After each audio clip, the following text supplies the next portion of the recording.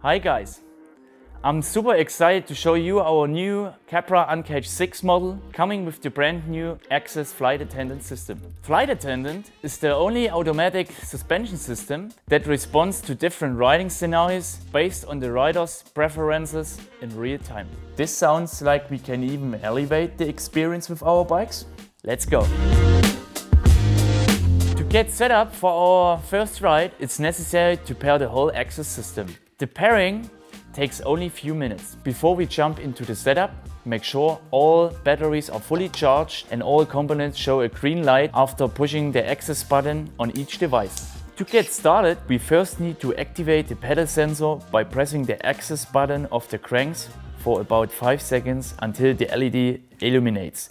Let's make sure all components are awake before we pair. You may have to move the bike and compress the rear shock a couple of times to wake it up or just push the AXS button. The fork control module is the master component, aka the brain of the system. It's the first thing being put into pairing mode by pushing the AXS button until the pairing LED blinks green slowly. Now we can pair all additional system components by pushing the AXS button until the LED both on the component and on the control module blink green quickly. Please make sure we do not forget any component in the pairing. Imagine a circle on the bike starting with the hand pedals.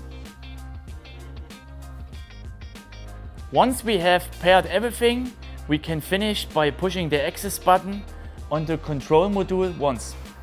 The LEDs on the top of the control module draw a green circle which indicates the end of the pairing session. Now we are ready to set up our suspension. The Trailhead app can help us to find a good starting point for the fork. Just enter the fork serial number and your rider's weight in full riding gear and you get your base setup for air pressure and rebound. For adjusting the rear shock, we can use the YT setup guide to find a proper setup for air pressure and rebound on our first rides. Please remember the rider's weight should include full riding gear. Last but not least, we need to calibrate the system. Sit on the bike for this on a level surface in full riding gear to really put both shock and fork to their set positions. Press and hold both adjustment buttons for 3 seconds until the pedal LED pulses white. Red LEDs during calibration indicate that the bike is leaning too much to one side and it's not really vertically. Hold the bike vertically with straight bars until the LED blinks white and we are done with that. When the open LED pulses white, we get off the bike and stand over it. We tilt the bike to the non-drive side with the bar straight and hold it steady. As soon as the open LED starts blinking quickly, the calibration is complete. The system now is set up in auto mode. The open LED pulses green and we are ready for our first test ride. Auto mode is the go-to riding mode. Flight attendant adjusts the front and rear suspension automatically according to the pedaling input, terrain and the selected bias adjustment setting. Auto mode's green LEDs indicate if open pedal or lock is the current position of our suspension.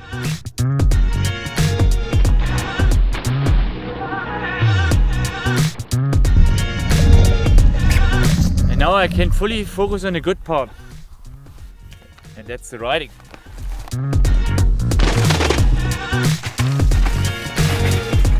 Auto, auto mode is the go-to mode. There might be a situation where we like to change that.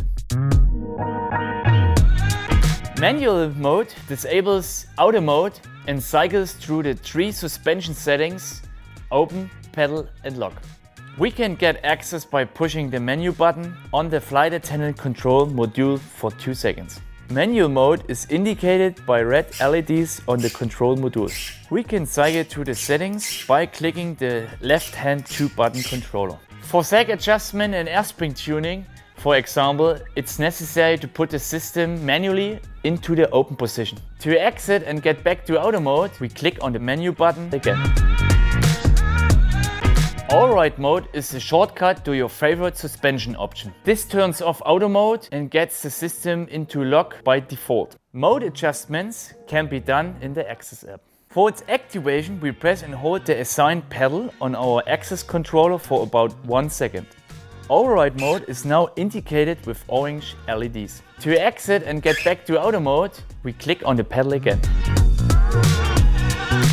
With bias adjust we can fine tune our suspension from blusher to harsher. The changes are applied to the auto mode suspension algorithm. To adjust bias we press and release the menu button one time until the LEDs turn magenta. By default the system is put into zero bias for the most balanced setup, indicated by a magenta LED sitting in the middle of the control module. Depending on personal riding style we can shift the system to the open that's minus 1 and minus 2 or lock, that's plus 1 and plus 2 positions. Depending on the bias offset, the system favors more the open or the lock position. There's no right or wrong here. It really depends on personal preferences and maybe it needs some time and testing to set it up perfectly for you. To exit bias adjustment, press and hold the menu button for 2 seconds or we just wait for 10 seconds and the system will get back to auto mode.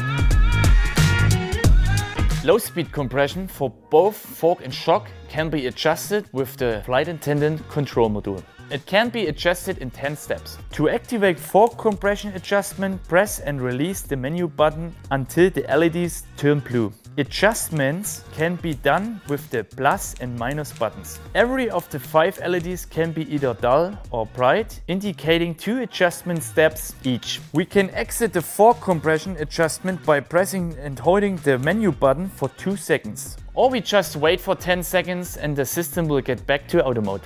To adjust the compression of the shock, press and release the menu button until the LEDs turn cyan. We can use the adjustment buttons plus and minus on the control module to select your low speed compression setting. We can exit the shock compression adjustment by pressing and holding the menu button for 2 seconds or we just wait for 10 seconds and the system will get back to auto mode. The SRAM AXS app can be used to adjust settings on the entire AXS system. Apart from customizing controls you can build bike profiles, check battery status or update the firmware. I hope you enjoyed the first steps with your flight attendant system and now it's time to go shredding.